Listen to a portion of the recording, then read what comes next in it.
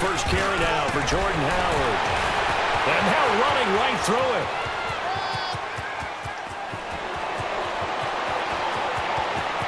Touchdown, Chicago!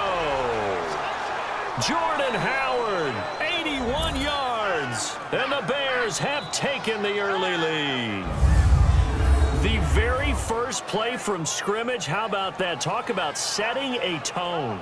And people always talk about doing exactly that in the first five minutes of the game, the first offensive and defensive series. Who's going to gain an advantage?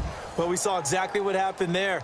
A tone was definitely set by the offensive team. Cody Parkey is on now for the point after. Parkey adds the extra point, and it's now a 7-0 game. Those are the ones the offensive coordinators dream about. One-play drives from that distance. What an effort. It results in the touchdown.